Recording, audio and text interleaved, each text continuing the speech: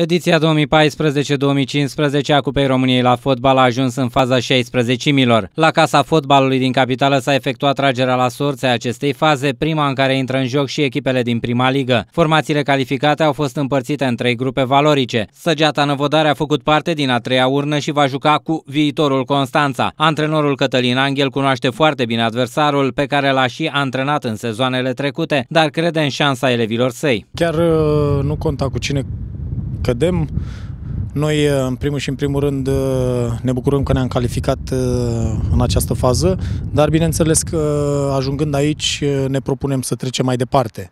Este jucăm cu viitorul, este o echipă bună de divizia din punctul meu de vedere, chiar dacă are jucători tineri, eu cred că este o echipă cu experiență deja în divizia și în meciuri internaționale așa că nu ne va fi ușor. Însă, bineînțeles că meciurile de cupă sunt uh, speciale și eu cred că meciul este deschis oricărui rezultat. Eu sper din tot sufletul să mergem noi mai departe. Optimist este și managerul general al clubului Năvodărean, Aurelian Babuțan. E un joc interesant între două echipe care se cunosc bine, au acea strategie, ținând cont că antrenorul nostru a antrenat mulți ani la viitorul, va fi un meci interesant și deschis oricărui rezultat. Meciurile se vor disputa în zilele de 23, 24 și 25 septembrie pe terenul echipelor mai slab clasate. Astfel, meciul dintre Săgeata și Fece Viitorul ar urma să se dispute pe stadionul Flacăra din Năvodari. Totuși, dacă meciul va intra pe lista celor alese spre televizare, atunci jocul se va disputa cel mai probabil pe stadionul Farul din Constanța, deoarece arena din Năvodari nu este dotată cu instalație de nocturnă. Sunt și două partide în care se vor întâlni echipe din același eșalon, ASEA Târgu Mureș Concordia Chiajna și FC Botoșani Rapid București. În rest, sunt meciuri în care oaspeții pornesc, cel puțin teoretic, cu prima șansă.